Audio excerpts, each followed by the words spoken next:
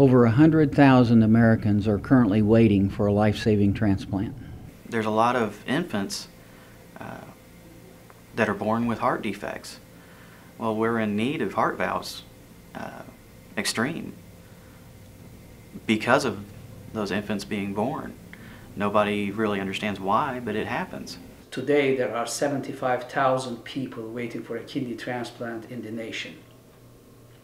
And the number of organs uh, is only 12,000 kidneys a year that we have.